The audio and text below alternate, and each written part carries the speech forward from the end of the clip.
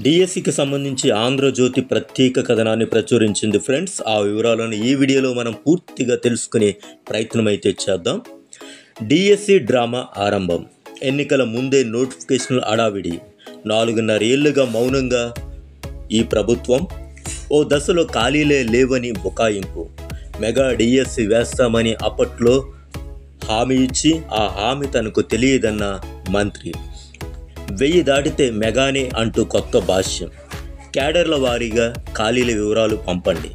RJD డిఈఓలకు పాఠశాల విద్యాశాఖ ఆదేశం. ఎన్నికల ముందు రాష్ట్రంలో ఇరవై మూడు వేల టీచర్ పోస్టులు ఖాళీగా ఉన్నాయని అన్నారు. తాము అధికారంలోకి వస్తే మెగా డిఎస్సి వేసి ఆ పోస్టులన్నీ భర్తీ చేస్తామని పాదయాత్రలో చెప్పారు. అధికారంలోకి వచ్చి నాలుగున్నర ఏలైన ఒక్క డిఎస్సి నోటిఫికేషన్ కూడా ఇవ్వలేదు.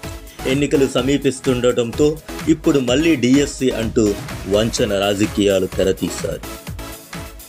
ఇక పూర్తి వివరాల్లోకి వెళ్తే ఆంధ్రప్రదేశ్ కథనం యొక్క పూర్తి వివరాలు చూస్తే అదిగో డిఎస్సి ఇదిగో డిఎస్సి అంటూ నాలుగున్నరేళ్ళు మాటలతో మాయ చేసిన సీఎం ప్రభుత్వ ఎన్నికల ముందు డిఎస్సి నోటిఫికేషన్లు అంటూ డ్రామా మొదలుపెట్టారు. గత రెండేళ్ళుగా త్వరలో డిఎస్సి అని విద్యాశాఖ మంత్రి బొత్స సత్యనారాయణ ఎన్నికల ప్రకటనలు చేసినా అవి మాటలు దాటలేదు. ఒక దశలో అసలు ఖాళీలే లేవంటూ ప్రభుత్వం బుకాయించింది.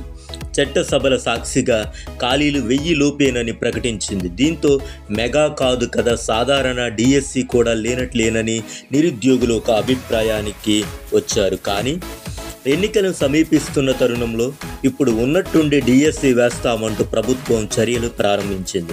క్యాడర్ల వారీగా ఖాళీల వివరాలు పంపాలంటూ పాఠశాల విద్యాశాఖ సోమవారం ఆర్జేడీలు డిఈఓలకు ఆదేశాలు జారీ చేసింది. ఈ నెల ఇరవై నాటికి వివరాలు ఇవ్వాలని స్పష్టం చేసింది. రాష్ట్రంలో ఎన్నికలు ఇంకా ఐదు నెలలే మిగిలిన తరుణంలో ఇప్పుడు ఈ చర్యలు చేపట్టడం వెనుక ఆంతర్యం ఏమిటి ఈ తక్కువ కాలంలో నోటిఫికేషన్ జారీ చేసి పరీక్షలు నిర్వహించి పోస్టులు భర్తీ చేయడం సాధ్యమేనా? ఈ హడావిడి నిరుద్యోగుల కోసమేనా? లేక ఎన్నికల లబ్ధి పొందడానికా అనే అనుమానాలు వ్యక్తమవుతున్నాయి. టీచర్ పోస్టులపై వైసీపీ ప్రభుత్వం అనేక సార్లు మాట మార్చింది. అధికారంలోకి రాకముందు ఇరవై మూడు వేల పోస్టులు ఖాళీగా ఉన్నాయని పాదయాత్రలో సీఎం పదే పదే చెప్పారని తాము అధికారంలోకి రాగానే ఆ పోస్టులన్నీ భర్తీ చేస్తామని హామీ ఇచ్చారని ఈ కథనంలో పేర్కొన్నారు. అధికారంలోకి వచ్చాక ఆ హామీని మర్చిపోయారు.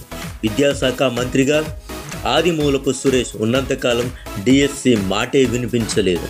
బొత్స సత్యనారాయణ బాధ్యతలు చేపట్టే నుండి రెండు నెలలకు ఒకసారి త్వరలో డిఎస్సి అనే ప్రకటన చేస్తూ వచ్చారు. కానీ ఈ ఏడాది అసెంబ్లీ సమావేశాల్లో పోస్టులు ఏడు వందల పదిహేడు మాత్రమే ఉన్నాయంటూ శాసన మండలిలో ప్రకటించారు. పోస్టుల కోసం ఎదురు చూస్తున్న లక్షలాది మంది ఆశలపై నీళ్ళు చల్లారు.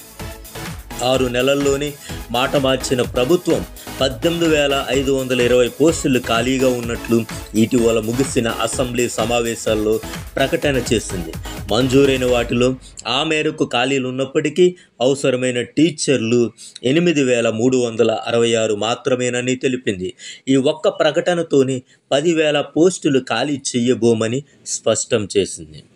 మెగాకు కొత్త అర్థం చెప్పిన మంత్రి కొద్ది రోజుల కిందట సచివాలయంలో జరిగిన ప్రెస్ మీట్లో మెగా డిఎస్సికి మంత్రి కొత్త భాష్యం చెప్పారని ఈ కథనంలో తెలియజేశారు.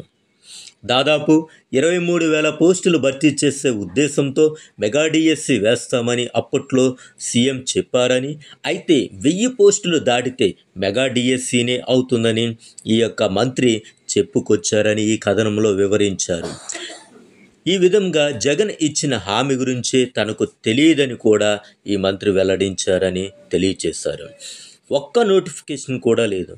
ఈ యొక్క ప్రభుత్వం అధికారంలోకి వచ్చాక టీచర్ పోస్టుల భర్తీకి ఒక్క నోటిఫికేషన్ ఇవ్వలేదు.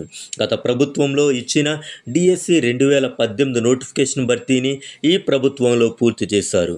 రెండు వేల పద్దెనిమిది డిఎస్సిలో ఎంపికై ఆగిపోయిన పంతొమ్మిది వందల పది మందిని పంతొమ్మిది వందల తొంభై ఎనిమిది డిఎస్సికి సంబంధించిన నాలుగు వేల ఐదు వందల ముప్పై నాలుగు మందిని మినిమం టైం స్కేల్ ద్వారా తీసుకున్నారు.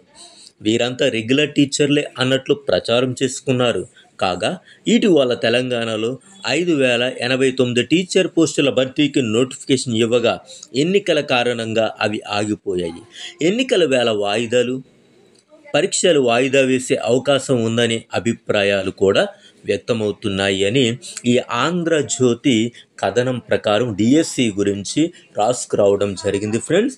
ఏది ఏమైనప్పటికీ ఎప్పటికైనా ఈ ప్రభుత్వం డిఎస్సి వేయాలి అనే ఆలోచనతో ముందుకు వెళ్తుంది. సో ప్రిపరేషన్ కొనసాగించే వాళ్ళు ఎట్టి పరిస్థితుల్లో కూడా వదలొద్దు. అదేవిధంగా ప్రిపేర్ అవ్వండి ఫ్రెండ్స్.